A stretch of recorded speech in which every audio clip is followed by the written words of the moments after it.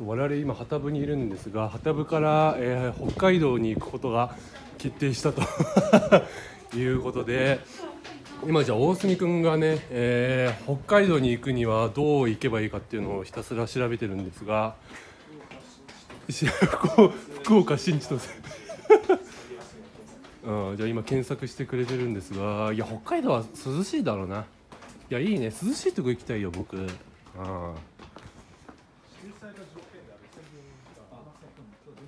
あ終わってんのか。じゃあ明日しかないのか。ピーチが1便と JAL が2便しかないえそれは何で調べてるの？えこれあのなんだっけ格安のあはいはいはいはい。サイトで。じゃあこれ明日にしてみよ。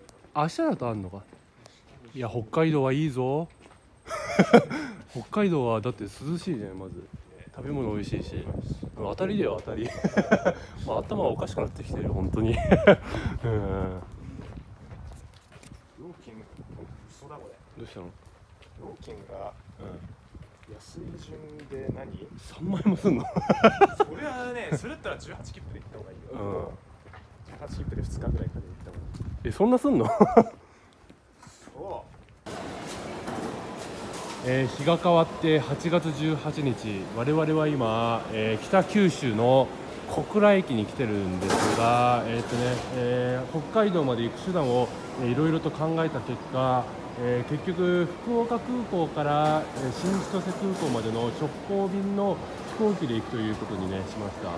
もういろいろ考えたよなあのなんか博多号がいいんじゃないかとか。あとなんかまあ、結局これが一番いいんじゃないかそう飛行機を乗り継いだ方がいいんじゃないかとかなんか新幹線で新大阪まで行ってそこから普通列車でね なんか東京まで行った方がいいんじゃないかとか考えましたが、まあ、結局直行便のえ飛行機で行くということで。えじゃあもう今日のさ午後には我々北海道にいるの？北海道に。え全然実感ないよ。行かない。あー北海道マジか、うん、で一応乗車券もこういう感じでね発見してきて旭川から函館までの乗車券をこれ小倉で発見したっていうなかなかないね。6ターの切符ですよ。あー。まあじゃあとりあえず多分この次のカットぐらいにはもう我々多分北海道にいると思うんだけど、うん、心の準備というかなんかなんだろうそういう実感が全くないが。全く実感がないね。うんまあ、じゃあとりあえず北海道多分もう次のあと3秒後ぐらいのカットに北海道いるから。じゃあ北海道多分到着してます。じゃあどうぞ本当にここは北海道なのかな、北海道らしい東京からね電車で3日かけて九州行ったのに九州から北海道まで2時間で来られちゃうとやっぱ感覚がおかしくなるんだよな。3日かけて九州まで行ったのに。ああでもあこれ北海道だね。駐車場出口付近にて混雑が発生しております。あ本当に北海道だこれ。やっぱ電車の発車案内で北海道に来たっていう実感が初めて湧くね。やっぱ九州はこのなんかスクロールがすごく早かったけど北海道遅いねやっぱり、うん、吉塚がまた聞きたいな、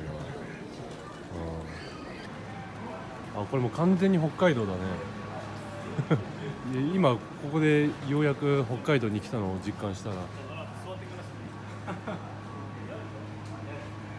新千歳空港。